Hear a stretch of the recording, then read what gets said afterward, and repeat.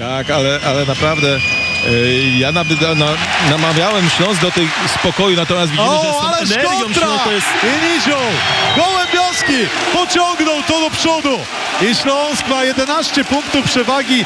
Tabak musi wziąć drugą przerwę w drugiej połowie, a jest 15 minut do końca czwartej kwart. Tak, ta dobra obrona szybkie ataki plus e, e, celne rzuty trzypunktowe dały niesamowitą energię i widzimy, że też kibice w hali stulecia e, mogą być tym szóstym zawodnikiem, na pewno dodadzą energii. E, ale to...